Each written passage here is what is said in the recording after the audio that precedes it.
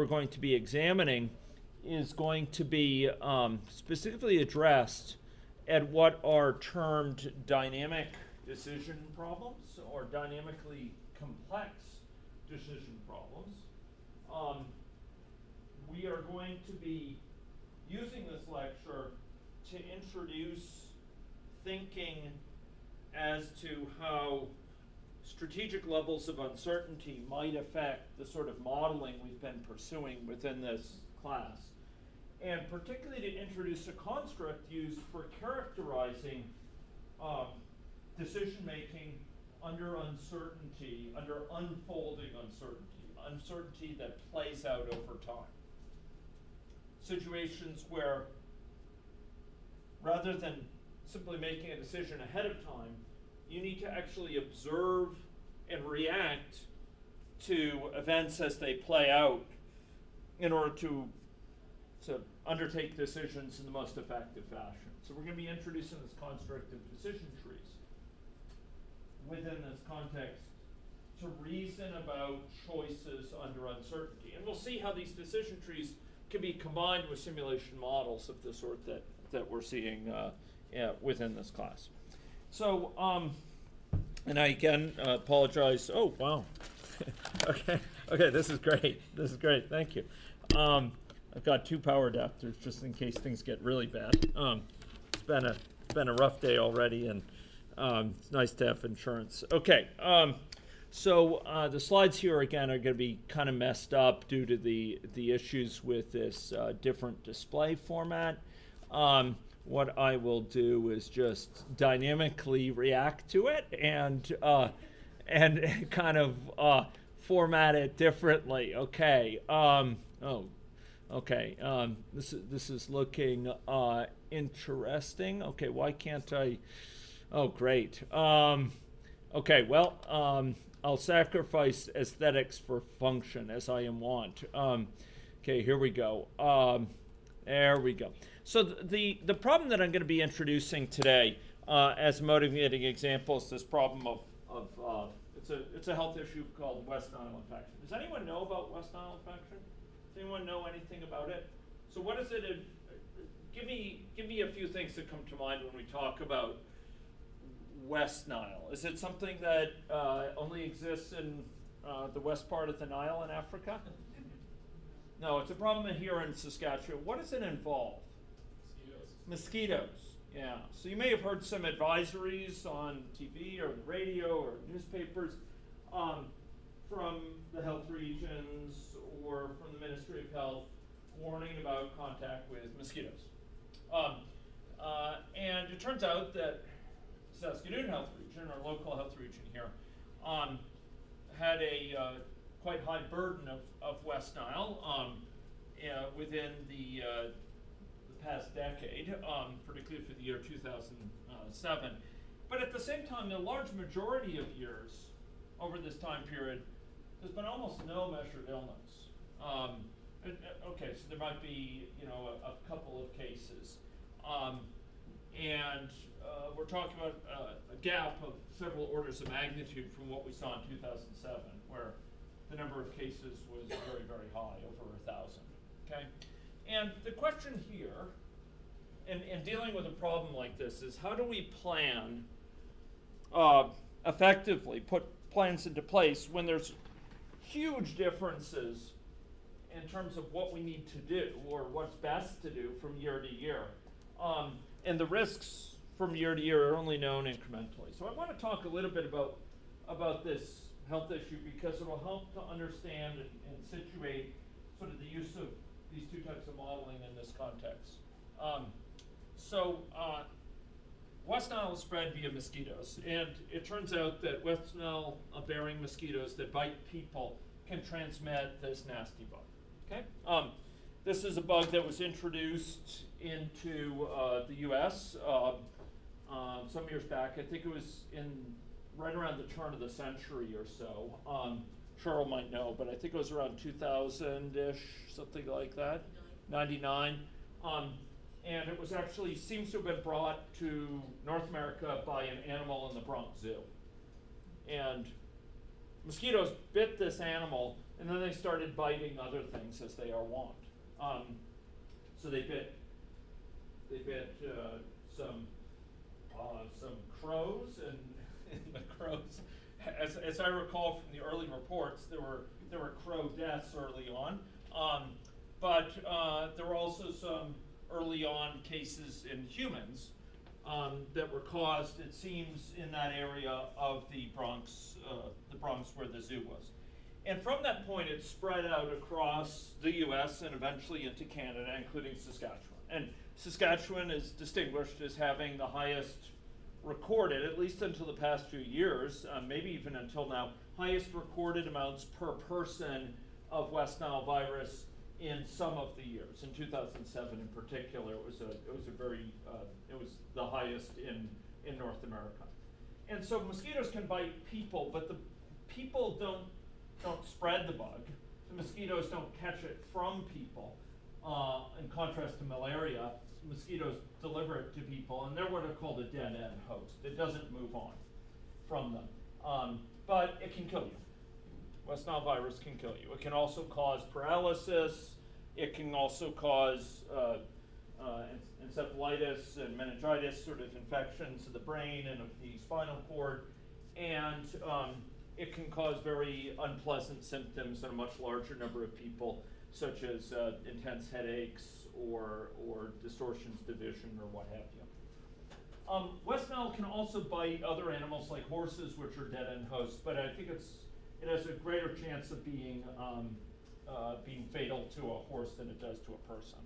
Um, so there's actually a higher number of, of, of horse fatalities on a per animal uh, basis that, that's bitten. But where it really thrives is in its interaction with birds. It turns out birds, when when a West Nile mosquito bearing, bearing mosquito bites a bird, um, the birds develop very high levels of virus in their body, what's called viremia. And, and then the mosquito can catch it from a bird as well. So birds become this reservoir where they can get infected from a mosquito and then they can spread it to other mosquitoes. So they're, they're a key component in, in spreading, spreading it. And there's a life cycle associated with mosquitoes that ends up affecting their development that's quite staged. The mosquitoes lay eggs, they develop into larvae and pupae, and then they come out into the air and uh, bite animals and uh, sometimes people, um, as we as we all know. Um, so there's a lot of things that affect this life cycle in mosquitoes. Um, temperature ends up affecting a lot of them. Egg laying, the number of blood meals taken, how often they bite, and the number of bites per blood meal um, the maturation of these these uh, small um, mosquito and, and the aqueous environment in ponds and sloughs, etc. And, um, and then how quickly the virus matures in the gut of the mosquito. Um, it also turns out that uh, rainfall, um, partly because of this habitat availability issue, uh, can end up affecting mosquito populations. So if there's lots of recent rainfall, um, it can form these little puddles and so on. Um, you can have enclosed environments like water inside of tires, which, which end up forming ideal habitats for mosquitoes. So mosquitoes are affected by temperature and by rainfall to a lesser degree, in, in, in, to a lesser degree here, um, in, in big ways. Um, now, it turns out there's some other things affecting people's likelihood of getting West Nile virus infection um, their perception of the risk. So what could you do to shield yourself from West Nile virus infection if you're a person? Stay inside. Stay inside is one thing, good. You're less likely to stay inside if it's really warm out and pleasant. You're more likely to stay inside if it's really roasting out. Saskatchewan is one of the few jurisdictions worldwide, or, or, a smaller number worldwide, where it can go from minus 40 to plus 40, um, not in a day, no, I'm not saying that, but minus 40, sometimes it seems like it, right? Uh, minus 40 to plus 40 in the course of a year. And if it's really, really hot, you're unlikely to go outside. But if it's a really pleasant temperature, um, you know, it's more likely to be drawn outside. So what's another thing you can do to protect from West Nile? Yeah, wear appropriate clothing. So long sleeves, long pants. Um, uh, you have, uh, you have protective, uh, uh, protective, um, you know, uh, mosquito clothing if you're, if you're out in, in high, high numbers uh, for a long time in mosquito infested areas. Um, so, so that's important, and that takes a certain amount of risk perception that I might be exposed, and so you, you put on this protective clothing. What else could you do? We had a group last year was looking at the evidence of it, in fact, in this class. Found some interesting patterns. What, a- what is that? Mosquito repellent? Mosquito repellent. Yeah, so they were actually, they had a time series from all across Saskatchewan of um, amounts of bug repellent that were bought in uh, pharmacies across Saskatchewan. And they were looking at how that changed week to week in relation to advisories and in relation to um, reported cases uh, of, of West Nile or, or other factors. There were, there were a number of factors involved. And they were looking at how people purchased mosquito repellent as kind of a proxy for how it was used. And finally, knowledge of West Nile might, might increase, uh, in, increase your sense of perceived risk. So the challenge here is, you know, year to year, there's orders of magnitude difference in the number of cases of West Nile. And so the best policy for one year is, might be incredibly wasteful for another, or dangerous for another. You know, um, either taking really aggressive action that might not in the end be needed, costs a lot of money in a fiscal environment that's quite tight right now, or doing nothing may be really dangerous in a year that's looking problematic in terms of mosquito numbers um, and the prevalence of West Nile. So the big challenge here, and this is indicative of all the types of um, the real focus of today's discussion is you need to make decisions now given uncertainties regarding future developments, how the mosquito population will be changing, both in abundance and the, the, the frequency with which mosquitoes are, are, uh, are infected by West Nile, and in light of uncertainties about the environmental conditions that might drive mosquito population. So for many years, and, and perhaps it's still happening, there were bug busters meetings that were occurring every week in the health regions, basically looking at mosquito populations and uh, particularly this issue of West Nile prevalence of mosquitoes and abundance of mosquitoes, something about the environmental conditions, how warm it's been, and advising things based on this. So those people didn't just meet once per year, they met on a weekly basis. And they did so because they had to make different decisions in different situations. If it had been a cool, dry year, they might be able to relax a lot. If it's really hot and, and wet, they are going to be very concerned and they might undertake action. So I want to distinguish here between two different types of challenges that confront us when we're making decisions, okay? One of them is we're making decisions about a complex system given some sort of anticipated course of, of important factors outside our control. We plug in values and parameters that we think are fairly representative, and we ask what if questions about different, different possible choices we can make. So here, you know, the focus is centered on building models. They help us characterize the dynamics of the system out there. They help us characterize how that system behaves over time. And we've run many models kind of like this, where there are uncertainties um, that play out over time, but fundamentally the hope is to find kind of a general rule about what, what way of changing things might be the best. So we just deal with kind of an expected course of affairs. The type of decisions we're talking about this summer, the type of challenges, the type of problems we're talking about in this lecture, are making complex decisions and choices when we can't anticipate the factors that are going to affect it. And those factors are very, very important in terms of what we should do. So here we have to focus on the dynamic model, getting that right, yes, but also in adapting our behavior, okay? Um, so we're going to be focusing on these type 2, type B problems. Um, you know, for type A problems, this first type, really what we're doing is often we are we have some sort of anticipated course of affairs we formulate a strategy and we stick to it um, over time uh, we don't have to worry a lot about what unfolds, what situation plays out. We, we simply put in place a plan, and we think that plan is most effective and, and undertake it. For type B problems, these problems that, that involve unfolding uncertainty, that invo- where that, unfolds, that uncertainty is very important, rather than you know, putting all our eggs in one basket of a certain plan, we avoid a preset plan and we learn over time. We observe what's going on. What's the temperature like? What's the mosquito population? What's the level of prevalence that we see in those mosquitoes? And we make different choices based on those observations. So here, what we do over time depends on what we observe over time. Okay?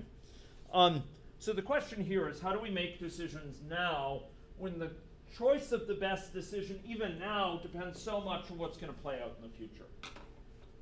How can we make a decision now that might position us best, for example, to make more flexible decisions in the future, that might provide options in the future that otherwise aren't there?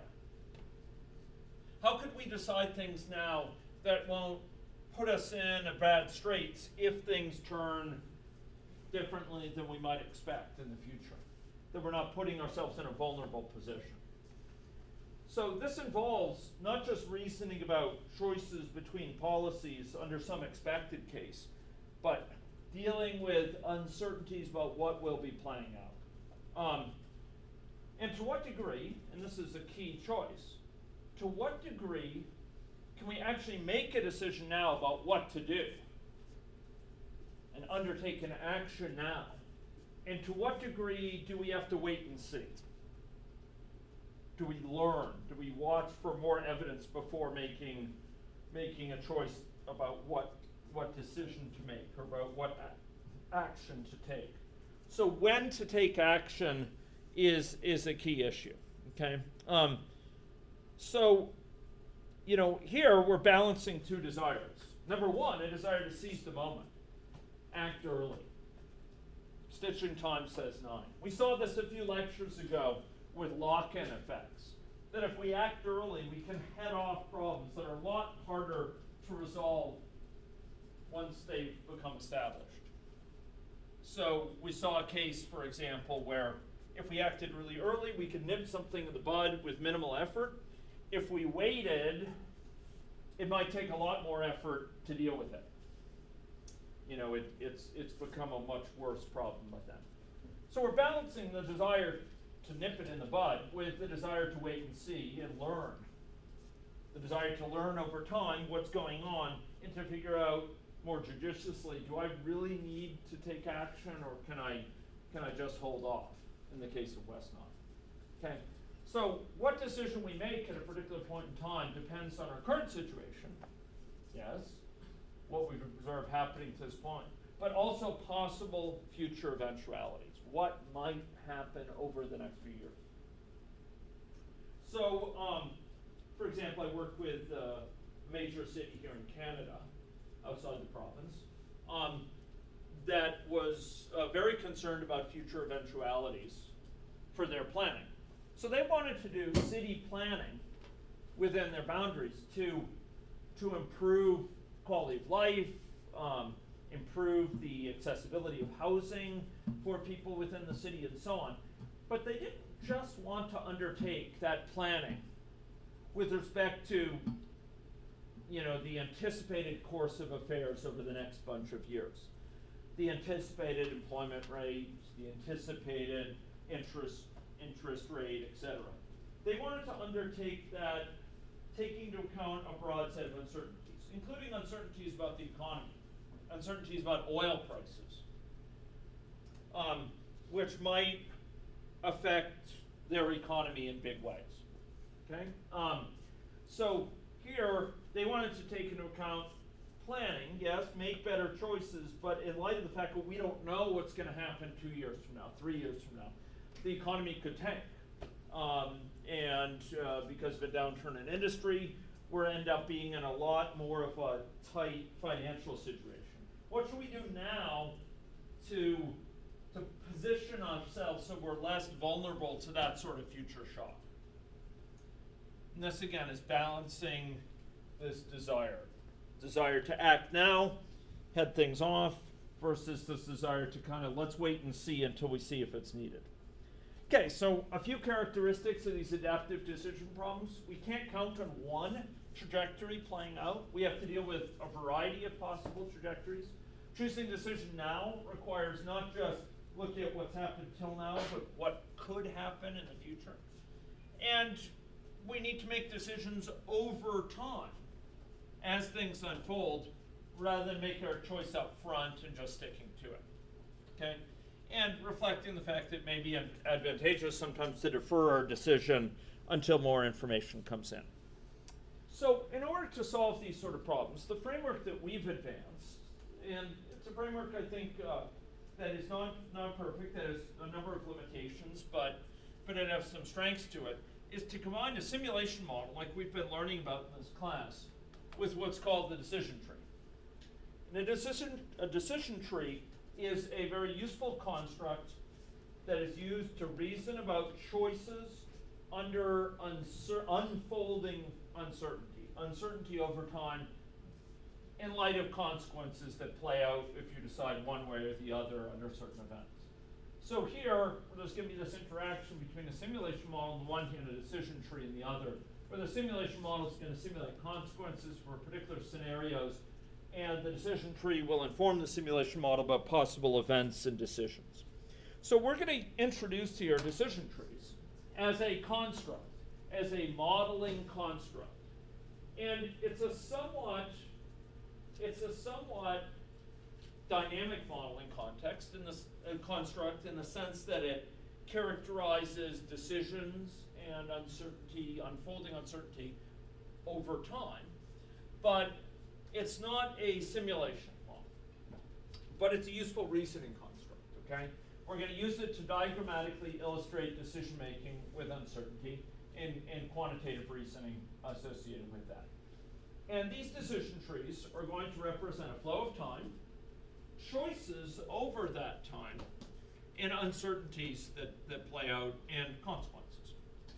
Now, I'd like to see a show of hands here, because how much I go into detail with this will present will will depend on how many people have studied decision trees in other classes. So how many people here have studied decision trees in another class? Okay, a fair number. So uh, is this 317? Or 306? Interesting. Okay. Is it, uh, so does 317 these days cover decision trees at all? Yeah, a little bit? Okay, so you've seen some of that. Okay, great. So how many people have not seen decision trees before?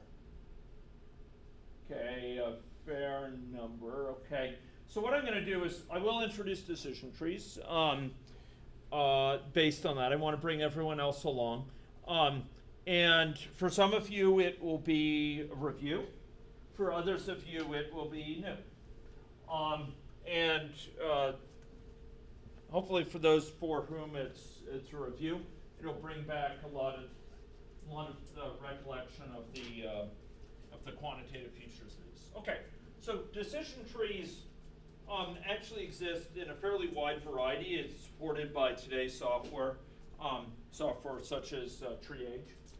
But um, we're going to confine ourselves to a very simple sort of characterization of decision trees that involves three types of nodes in.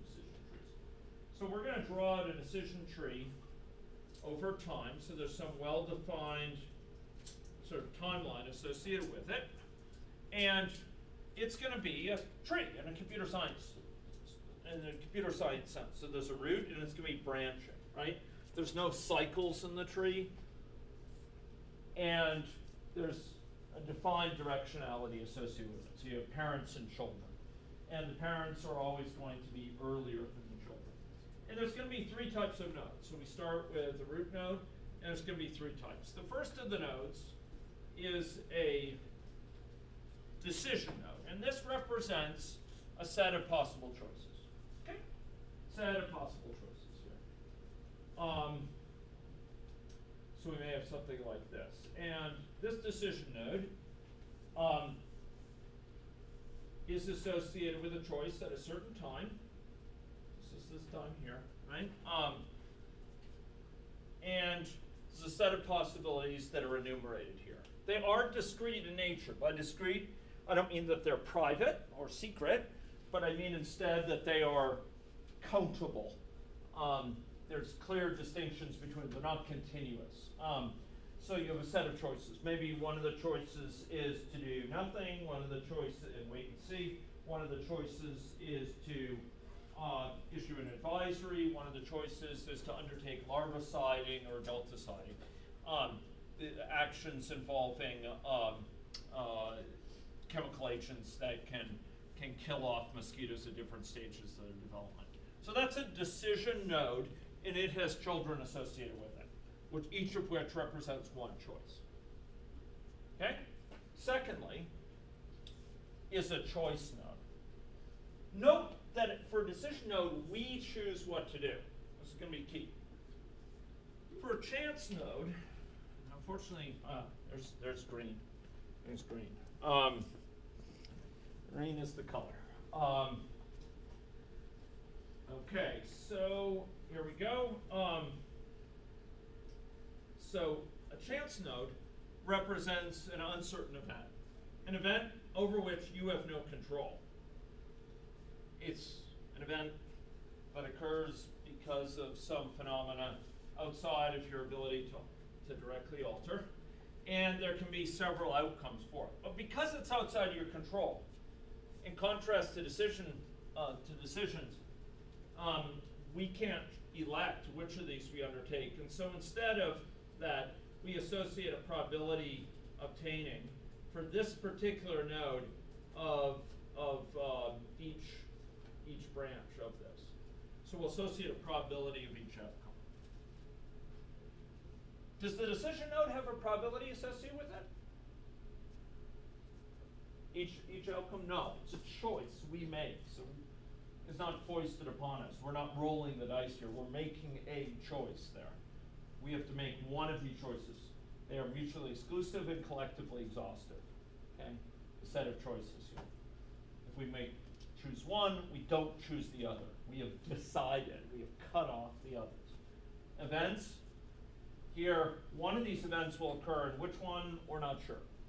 Um, they'll occur with a certain probability. The final type of node that we will illustrate in our decision trees is what's known as a terminal node. So somewhere down here, there are terminal nodes, and they are traditionally represented with uh, triangles. Um, and they're associated, importantly, with a type of information about the consequence. Okay? So maybe this consequence is in terms of number of, of, of people that are likely to get West, uh, come down with West Nile fever, or maybe it's associated with the number of people that die from West Nile, maybe it's associated with costs associated with uh, borne by the the healthcare system and by interventions against West Nile, but it's associated with some number. It's a co- it's a it's a consequence. Okay. So they're associated with consequences. Okay, so we can draw out these decision trees over time, and a very common goal for the decision tree is to take a decision tree and try to come up with a maximally desirable decision rule. Okay? What do I mean by a decision rule? especially, especially the cohort here who have seen decision trees before. What do you mean by a decision rule?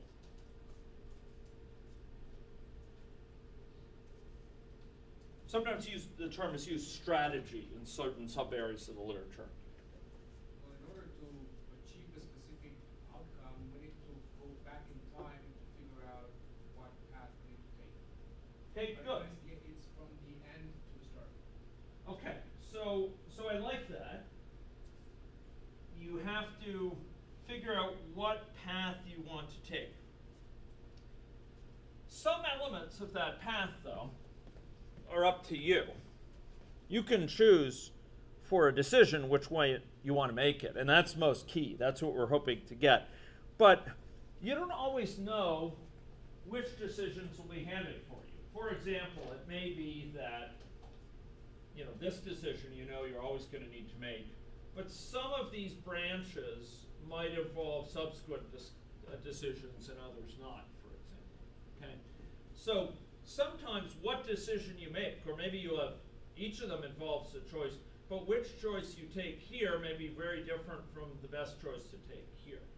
So this is gonna be a decision rule is yes delineating a sort of uh, choices we want to make, but it's doing so under all possible situations, all situations that nature might hand you, given the uncertainties involved. Okay, so here it's not a matter of simply saying which choice do we make initially. We want to figure out for all of the the decision nodes in this diagram, which can be reached, what's the choice that we should make if we reach that point. So it's kind of thinking through if this happens, I'll do this. If that happens, I'll do that. Okay? And it turns out that there's an algorithm for for deciding these things. Okay? Um, these decision trees can often be quite large. Um, this is one we created uh, for um, for West Nile virus uh, some some years back, involving uncertainties uh, about temperature regimes here and uh, choices at different points in time. These are weekly choices as to what decisions uh, to make. And this tree involved uh, thousands, thousands of um, consequence nodes that need to be evaluated.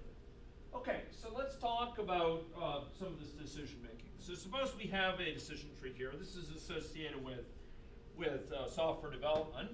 Um, and we have a choice early on, okay, to what degree are we going to undertake software? Um, so a new version of the Mac OS is going to come out. Um, to what degree are we going to, within our software program, um, rely on the new OS features, which will make it especially um, favorable and for certain um, certain elements of that software. Um, and to what degree will we avoid relying on those features, but end up having to put in sort of substitutes that are less aesthetically pleasant. So here we have a, a choice whether to rely on them or not. Maybe we won't exclusively rely on them, but the point is that uh, should we include support for them or not? And the challenge here, the uncertainty is we're not sure whether the OS will be delayed or shipping on time. And if it ships on time, that's great. We're relying on these features. The program we released has these features well supported in it, and we may reap greater sales of our product because it's really slick on this new release of the of the OS. But if the OS is delayed, in order to release our program, we're going to have to wait until until we can get a, a feature feature complete version of the OS. We're going to have to wait until we can get a version of the OS that we can really test against with reliability. And it may cost us in terms of the ship date of our product, and so we may lose customers. So here, these, these consequences are born if we're relying on the new OS features. On the other hand, we cannot rely on them, and we'll say that, you know, we'll view that as the baseline, as kind of the reference case. Um, we'll treat it as sort of a cost of zero.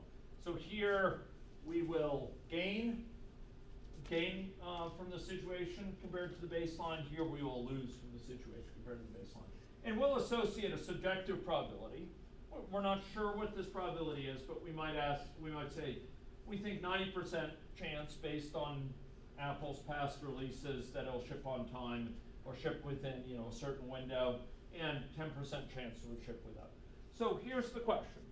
So is it desirable to rely on these features or not, given this situation? How would you figure that out? Yes?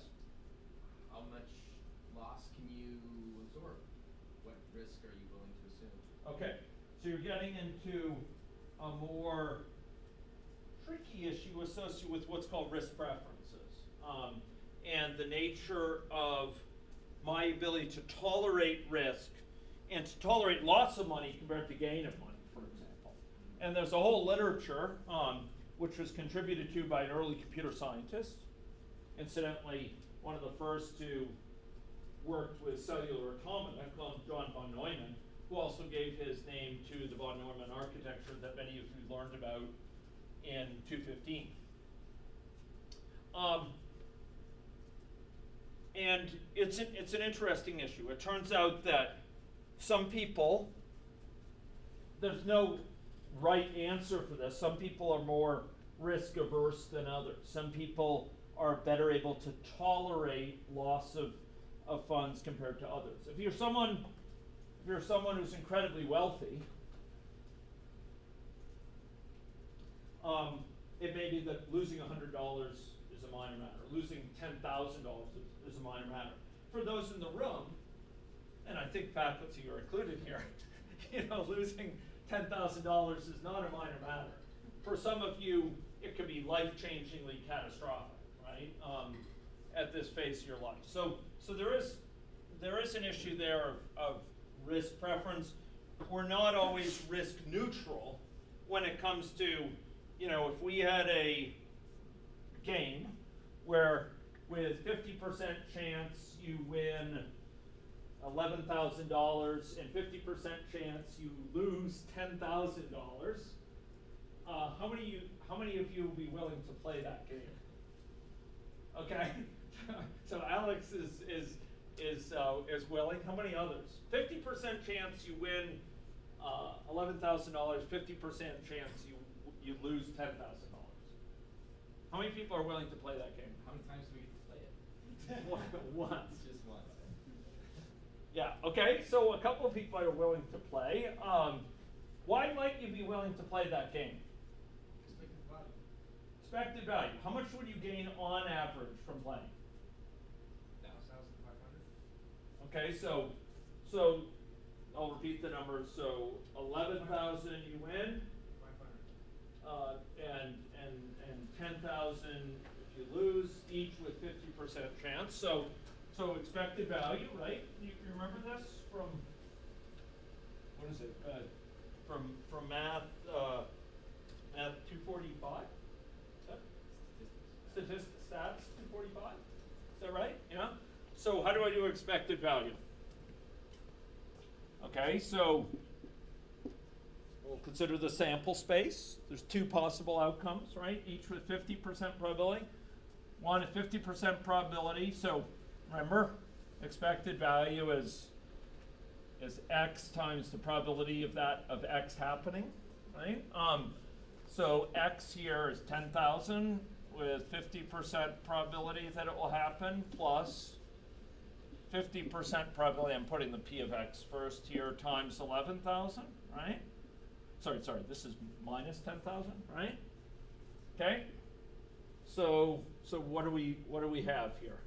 Wh- What we have is well, you can, this is equal to 0.5 times a thousand, right?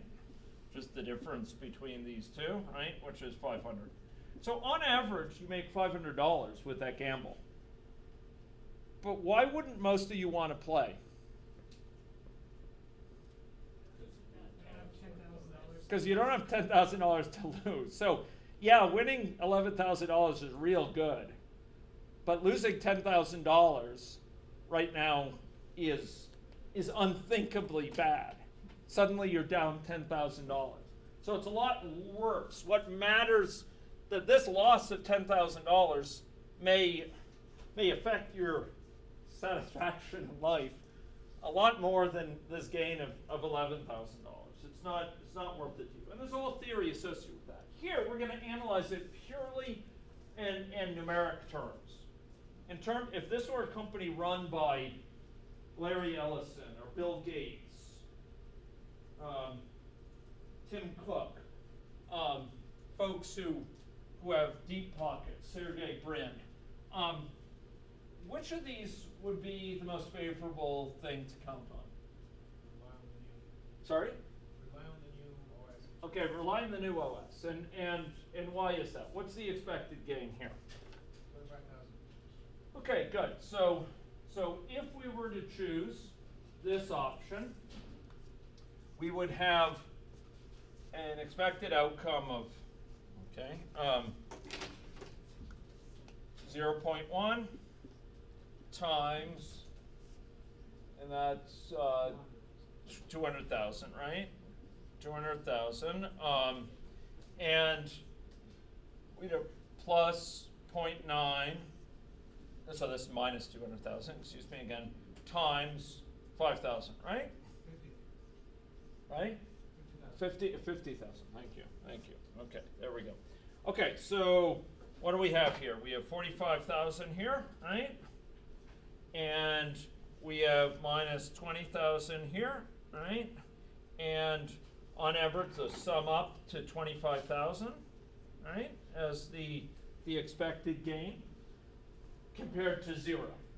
So here you stand to gain twenty-five thousand on average, expected value here relative to zero. So if you were risk neutral, if you didn't, if, if, uh, you know, the, the, th- this, um, every dollar in this counted for the same amount as every dollar in that, you would, you would end up preferring this. You'd, on average, gain money by, by preferring that. So, so here we could do the calculation, twenty-five thousand dollars for this option, zero dollars. So we'll choose this option. We cut off this option and hence the, the kind of cut there that's, that's shown. So the algorithm here, um, for this is based on what's called dynamic programming, Bell's, uh, Bellman's principle. Uh, it's called rollback. It's called backwards induction. It goes by different names. The basic algorithm here is quite simple. Um, for terminal nodes, nodes at the end of the tree, you simply pass up the value. The value for that node is the value with which it's associated. For event nodes, you pass up the expected value. That's what we are computing here. So a node like this, we pass up the expected value. And that's that's what I computed, right? Twenty-five thousand. That's the value associated with this, um, with this here. And finally, for decision nodes, you select whichever child offers the best value. Now, what it means to be best will differ from decision tree to decision. If, what's associated with the terminal nodes of the decision tree is costs, you'd want the one with the minimal value. If it's if they're associated with deaths, you want the one with the minimal value. On the other hand, if the if the if the consequence nodes are associated instead with profit, you want the maximum value. So here you're selecting whichever child offers the best value, and you pass that value up. Okay, so decision nodes, terminal nodes, and um, and leaf nodes each have a rule associated with them, and we can compute. Okay, so here's another example. It's an expanded one here, where if the OS is delayed, you can make a decision. Okay, are we going to ship without the final of the release of the OS being available? We'll take our chances, and we'll assess, okay, with 93% chance, probably the feature support will be suitable and we'll be fine. We'll, we'll limit our loss because we ship early. Or 7% chance we assess that there's uncaught bugs in this, in the, in the new OS release. We didn't wait for the very final testing version. We used release candidates to, to sort of judge the suitability of our software. And as a result, with a seven percent chance, we may miss some, some issue that causes, uh, causes the need for patches and extra cost. So here, we can still not rely on new OS features, or we can rely on these. And if the new OS ships in, on time, we don't have to make this decision. But if the new OS is delayed, we're going to make this decision, and then we're exposed to this uncertainty. So here's the question. Here's the question. Um, uh, so, what is the best decision rule here? What's the most favorable decision rule? How would we compute this? um, Yeah.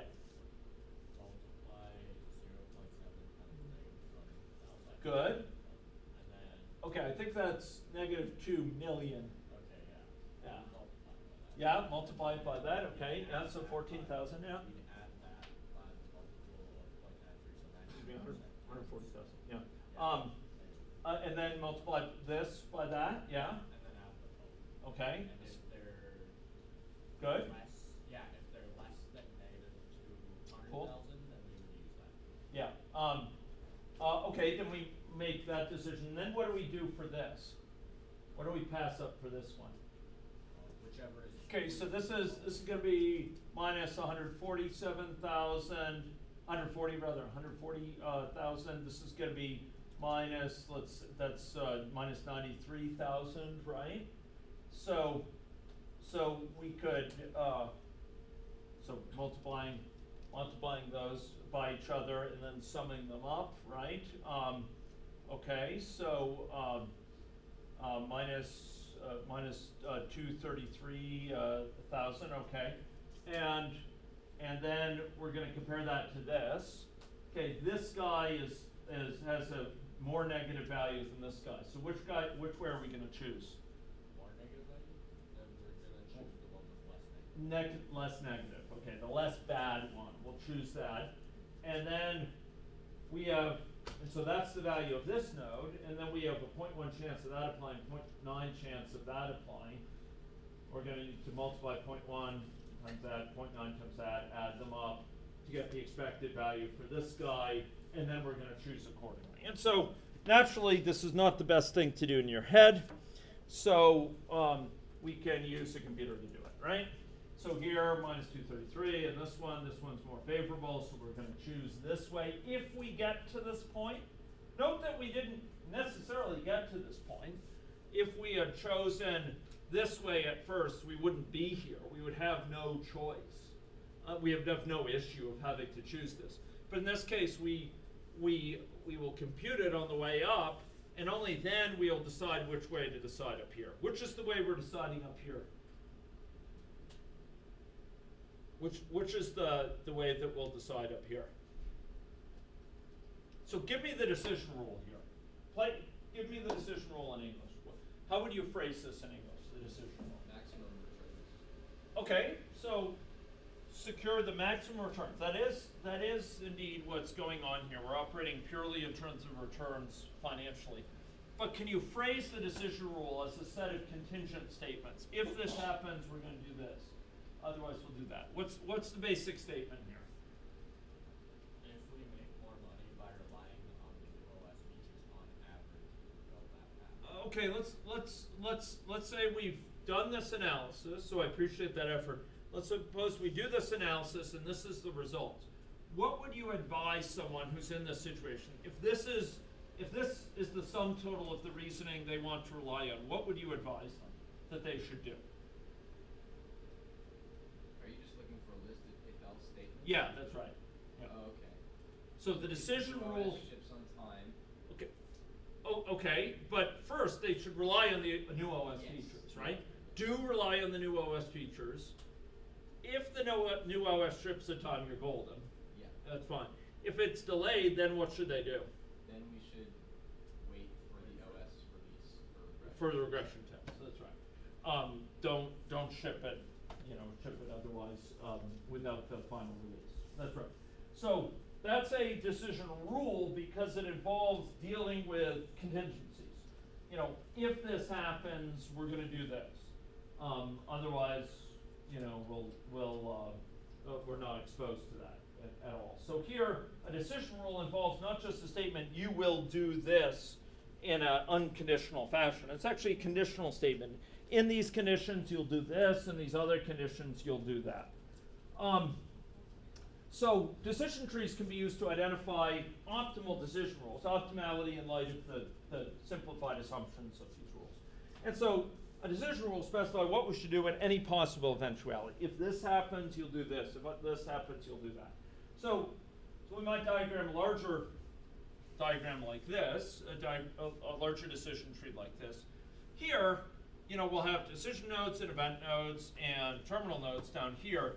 And what we decide at a given point in time, let's say this point in time, will be different depending on how we got there. So we have the same choices here, here, here, and here, but we'll make different choices uh, depending on what's happened to this point. So in this case, this is this is, for example, a um, a particular scenario here where we make this choice, we this thing happens, we make this choice, this thing happens, and we have a consequence. A decision rule, that's a particular scenario. Uh, a decision rule might look something like this. This is a static decision rule. Static, why do I say this is static? Why is that static? No, it's not because there's only one instance of it for the whole class. No. Why is this static?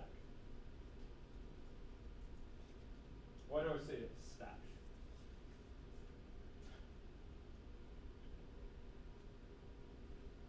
Do you notice a certain pattern at these decision points?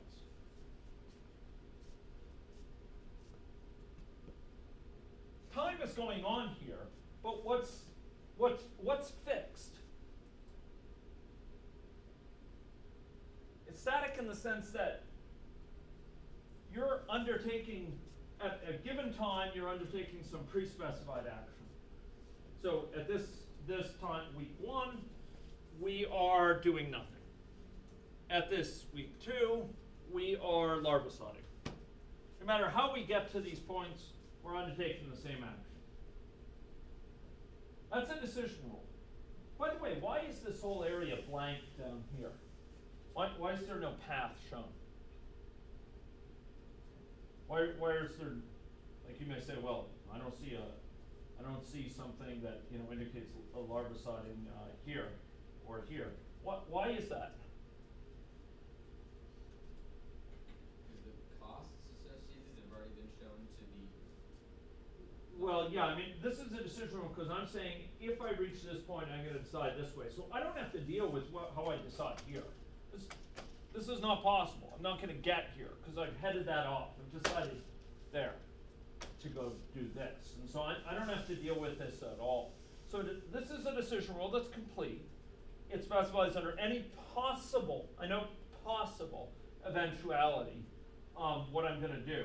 This is not a possible eventuality because I know if this happens, if I have a high temperature here, I'm going to do nothing. I, I just know that ahead of time. It's static because I'm always at the same point in time, I'm undertaking a pre-specified action. It's fixed. It's fixed in the sense that it's pre-specified at this time, I will do X. Here I'm doing X at this time, here I'm doing Y at this time, but it's all specified. It doesn't depend on the contingencies. It doesn't depend on what temperature was observed in the past week or the past two weeks. It's all fixed. Okay, so that's a static decision rule. This is an adaptive decision rule. Why is it adaptive? Give me a sort of uh, a, a hallmark of it being adaptive. What's adaptive about it compared to this guy? This guy is, I'd say, is static. This guy is adaptive. Why? It's changing. It's it's dynamic in a sense. What's that? Yeah, I mean, um, it's related. You, you might say that, depending on how I interpret that, that that could be true. So there's going to be there's going to be sometimes, for example, where this path is explored, sometimes where that path is explored. But the the main point here is that that what you decide here depends on what you've observed previously. It's not the previous one. We had whether this week was hot or hot or cold. We're going to make the same decision regardless. This next tree, we're going to make a different decision. If, if this has been a cool week, we'll do nothing. If this is a hot week, we will undertake larvicide. There it's an adaptive decision rule. What action we undertake is contingent. It's contingent on what has happened. It's contingent on what we've observed. It's contingent on these events that are outside of our control. But the action we take to respond to it is under our control. And the action we take is different depending on what's happened. Here we're actually undertaking the same action there, but this is an aspect of a of an adaptive decision rule. Something that responds differently under the different um, the different contexts. So a static decision rule pursues the same predetermined decisions regardless of eventualities. It's predetermined in the sense for a given time it's specified what you will do. This is a fixed plan. We stay the course. No matter what happens, you know, after this, we're going to undertake the same action here. It doesn't matter what's gone on recently. This, by contrast, is a case where we are we are responding differently under different conditions. We are adapting our behavior based on what we've learned, what we've observed, and undertaking different actions accordingly. Okay? Um, and there are some important cases where what we decide early actually opens up new possibilities for how we could decide later, which is really interesting. You give yourself options for the future in case you need them.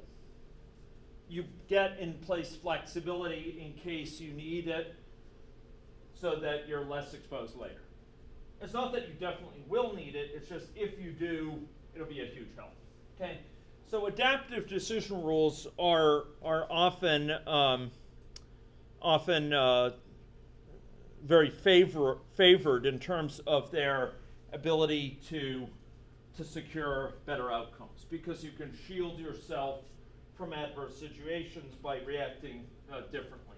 And some of the decisions you take into account early, um, or that you put into place early, may be motivated by the, desi- by the desire to put you in a better situation later. If this happens, I'll be in a better better situation. So let's talk a little bit about this. So analysis using decision trees is, is powerful. So basically, um, within decision, tr- uh, decision tree analysis frameworks, we, um, we can undertake some pretty interesting types of, uh, of analysis beyond just computing the uh, desired decision rule. That's one of the favorite ones. But additionally, we can add symbolic computations to the, to the tree to expand the power. And you can identify, for example, how sensitive your choice of decision making is to certain um, probabilities uh, within the tree. You can decide the value of information. How much would it be helpful for me to collect more information on this uncertainty so I can make better decisions? How much would that pay off?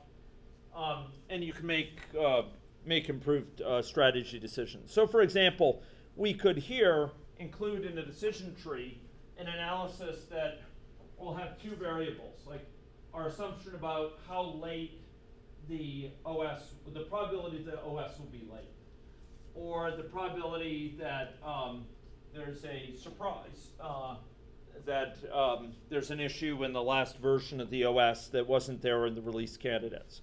And then we could do an analysis here which basically tells us, okay, for what assumptions about these probabilities is it desirable to rely on new OS features, features versus to not rely on them, okay? So within this kind of space, this is kind of a probability space, this is the assumption about the probability that the final version of the OS will have a surprise in it in terms of revealing a bug associated with our system um, that wasn't revealed in the release candidate.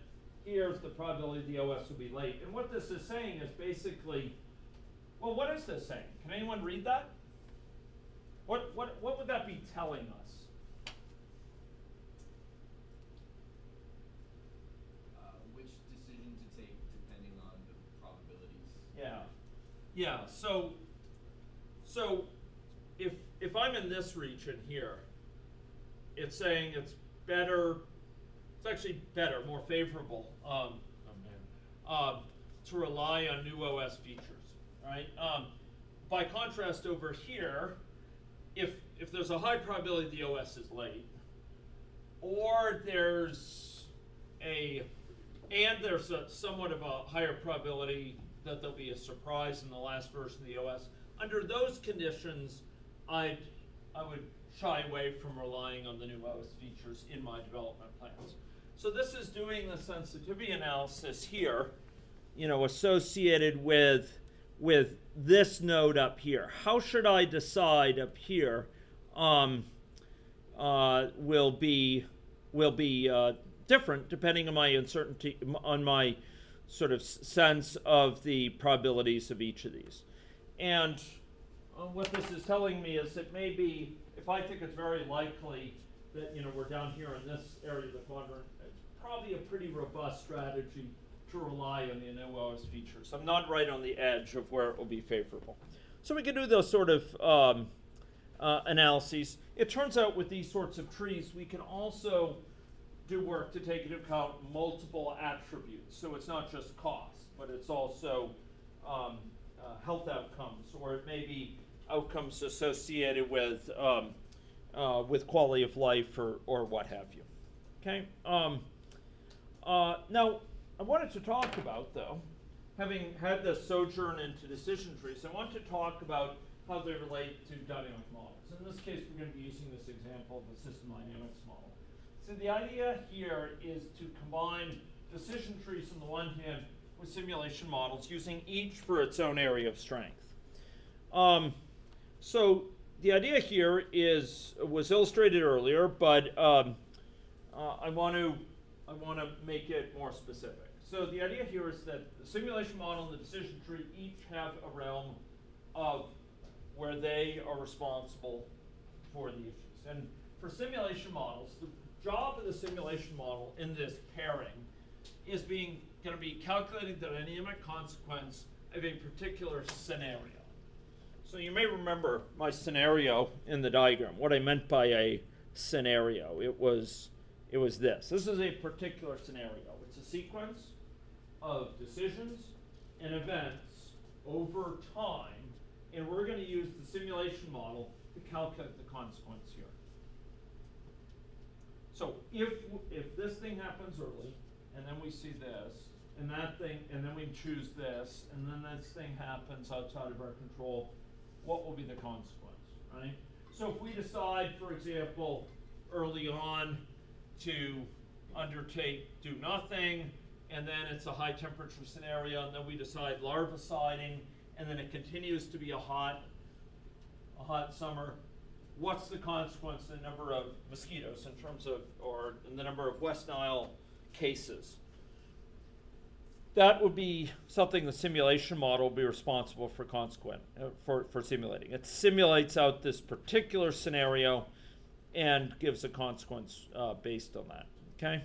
Um, uh, it takes care of deterministic situation given events and decisions. Right. Um, the decision tree here, by contrast, represents over time sequences of decisions and uncertainties, and basically it is used to do the rollback. It's used to identify the most favorable scenario given the assumptions. And it basically encapsulates all the decision, all the uncertainties, and the choices to be made. So the decision tree is used here to, to represent this space. And the simulation model is used to evaluate the consequence for each of these decision nodes. Now, so doing, then we can use rollback once the simulation model is given a consequence for all of these. We can do rollback from the bottom to the top to identify which decision rule is most desirable.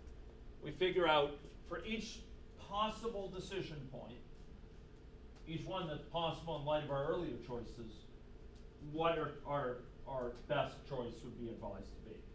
So here are the simulation model is computing these, and the decision tree is allowing us to reason about our choices under uncertainty. So it's saying, essentially, if you see this weather condition, this level of mosquito population, this level of infectivity, um, you should wait and see. This other one, undertake advisory, might say for this other one, undertake larviciding or what have you so it can give advice at different stages associated with with this tree. Okay, um, so to be clear here, our decision at a certain point in time, a particular decision node, will depend on the current situation, future eventualities that are possible. The fact that later we'll, we'll be able to revisit this choice in another week, for example, right? Um, we, we don't have to decide now for all time.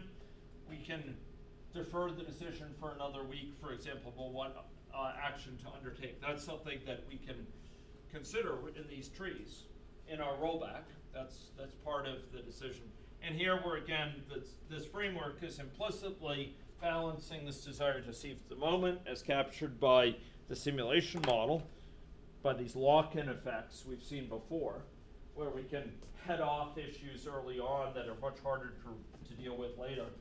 And this wait and see, where we can defer now and and learn more learn more about what's needed. Okay. Um, okay. Um, so here, decision tree and simulation model. They're paired to compute different aspects of the situation. The decision tree representing uncertainties, consequences, choices. The simulation model allowing us to simulate the effects of particular scenarios where the decision tree can then be used to do the rollback, to sort of figure out what is advised at each possible decision point. So simulation models here, evaluating the consequences associated with these terminal nodes. In traditional decision analysis, the consequences of these terminal nodes are computed in different ways for different trees. For situations where you're dealing with a complex situation, where you have feedbacks and delays and nonlinearities, etc., it makes eminent sense to compute these with a simulation model. That's how you would know what is the consequence of successive weeks of hot weather when you're doing nothing, or where you're undertaking larviciding. Larviciding might kill mosquito larvae, but leave those in the air still present. Trying to figure out what that means in terms of number of cases of West Nile versus a situation where we issue an advisory and some number of people exercise greater protection in their clothing in terms of going out at dawn and dusk, etc. It's a hard thing to, to do in our heads. So a simulation model can be really effective at allowing them, for us to compute these things.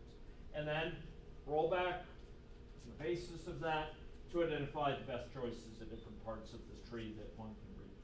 So that's the pairing here, ladies and gentlemen. Decision analysis in the form of decision trees and the algorithms on them, and simulation models in the form of computing the consequences to particular scenarios. Together, they form a whole that's greater than the sum of the parts, um, where we can make decisions not only about one situation, about what, what choice is best under one situation, one particular temperature regime, for example, but instead we can make trade offs between what we should decide under a huge variety of different circumstances. Okay?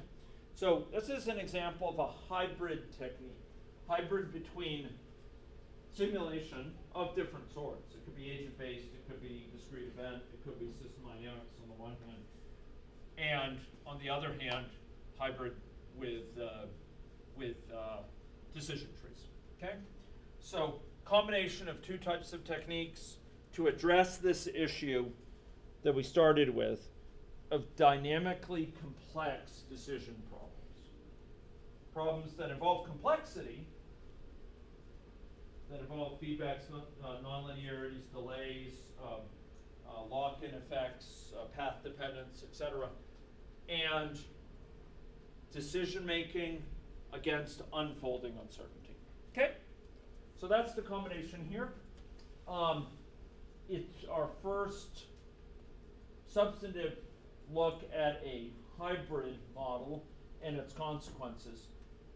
In our next class, we're going to go more systematically through a set of hybrid strategies for combining the types of simulation models we're building in this class. System dynamics, agent-based, and discrete event, combining them together to address different types of questions. And you'll see that what we've thought about is three different modeling paradigms can actually be mixed and matched very easily. And the choice these days is not so much one of which method should I use at all. It increasingly is a matter of which area of my model might be best suited to which method. Okay.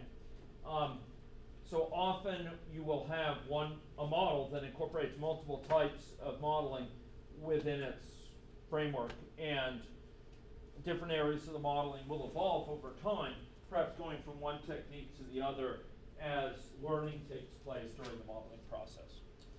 So first hybrid here, we're gonna go on to that. In our remaining time in this course, we're gonna be spending next week addressing some deeper issues having to do with um, modeling of real world phenomena. We're gonna take a look at state space characterizations and see how time series associated with empirical data, the observations we can collect from things as varied as the stock market, or counts of people infected over time, or readings from biological instrumentation, or what have you. How those time signals can give a hint as to the structure of the system in terms of the number of stocks that might be required to characterize them. So this is using a, a, a notion known as embedding, embedding theorems. We're going to take a look to see about how those time series can be used to hint as to the, uh, the nature of the underlying dynamics and the nature of the models that might explain dynamics. We're also going to go on to talk about the role of dimensionality in modeling and how, once again, we can get insights into the nature of the processes that must be involved in explaining uh, uh, the, the, the, um, the observations we make in the world based on reasoning about dimensions involved. And how, using simulation models, we can cross-check our simulation models, spot errors in our simulation models by recognizing the dimensions of the quantities involved. Okay? So that's the next uh, bunch of lectures uh, for this class. Um, thanks very much for bearing with the, uh, the uh, unexpected uh, technical issues that arose today. I've got to go talk, Mer- talk to Merlin about some, uh, some computer problems, and I'll look forward to uh, seeing you on Thursday. Thanks very much.